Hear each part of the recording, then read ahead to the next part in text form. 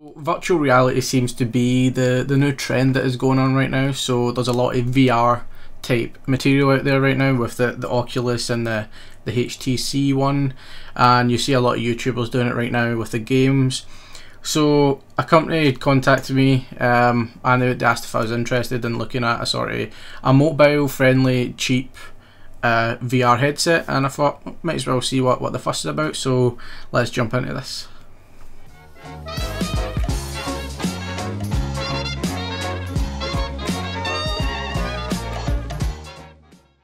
Hey what's going guys, back for another video and this one is looking at the, the Habor 3D glasses as it's called or the VR, uh, a VR headset.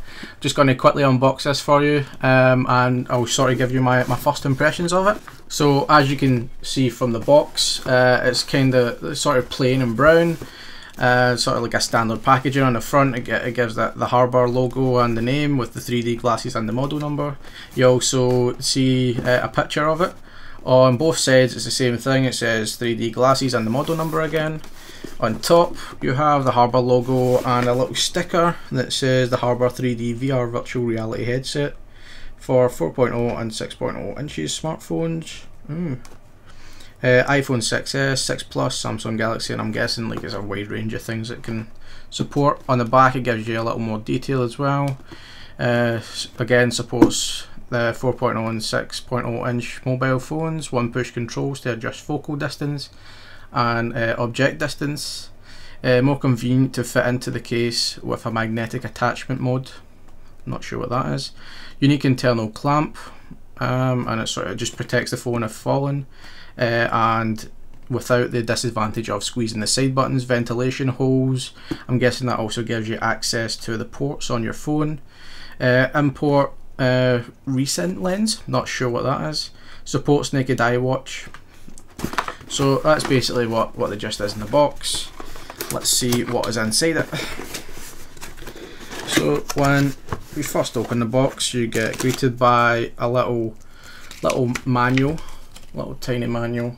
Um, it gives you a little details. You've got a QR code inside there. Um, it shows you how to how to set it up um, what each button does and stuff like that, you know, your standard manual. You also get a little package with it looks like two little uh, sponge or foam uh, inserts as well as a wipe and a cleaner. And then you also get the, you also get the, the headset and wrapped up. Let's see.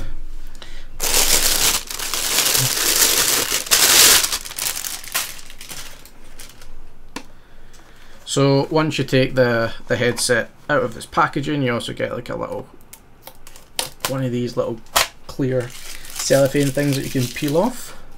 Um, and as you, can, as you can see, it's sort of simple. It's got the the white outline with, with black and then the, the Habor logo. It's, it's made of plastic.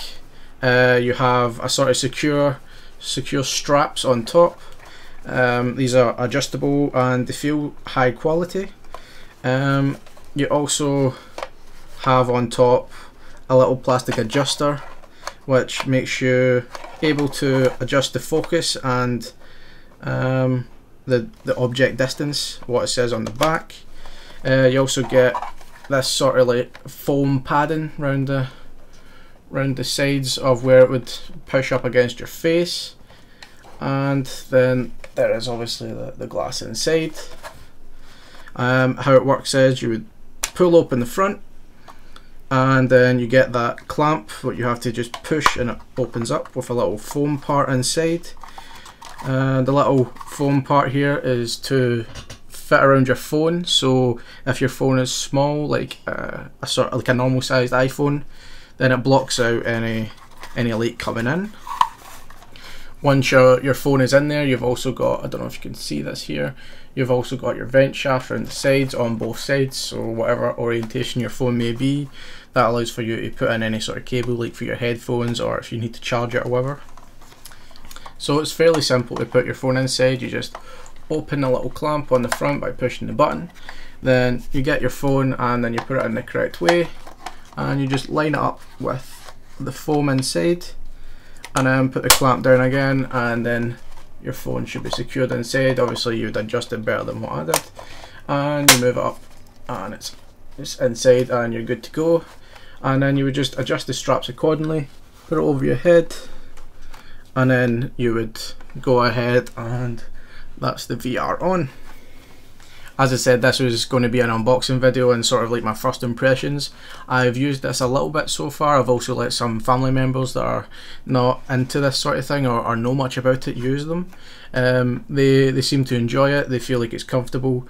But if you have motion sickness it, it is pretty bad sometimes. My uh, my brother and my mum felt sort of dizzy afterwards um, and they felt a little strange but it passed over time the one major flaw that I've found so far is um, when you try to use certain games, there is no external button on here. So to interact with the phone, because some games uh, need you to tap the screen and move certain places. So that is a major flaw with this. It doesn't have any buttons anywhere.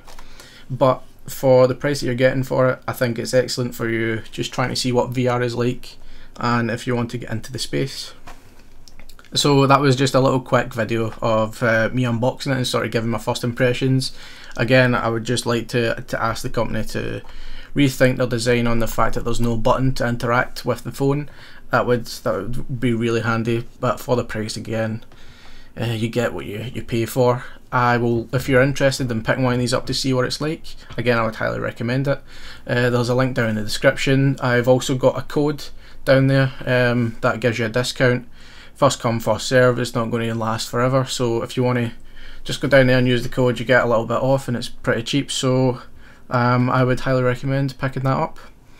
Um, if you guys enjoy the video please give it a like. Um, and if you didn't like it please give me give me some some comments down below what you, you thought what I could change. Also what do you think of VR VR gaming do you think it's going to be the future? Uh, with that said I will speak to you guys in the next video. Peace